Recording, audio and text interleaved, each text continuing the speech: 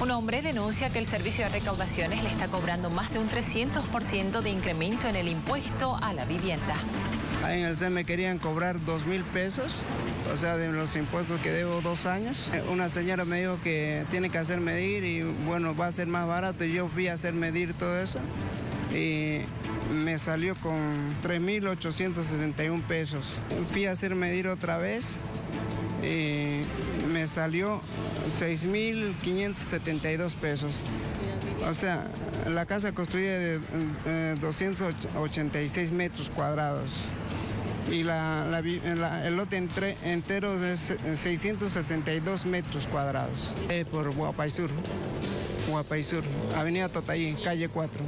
Yo fui a pagar los impuestos con el perdonazo todo y me, me salió una fortuna, casi 7 mil bolivianos y no puede ser, ¿no? Es injusto eso.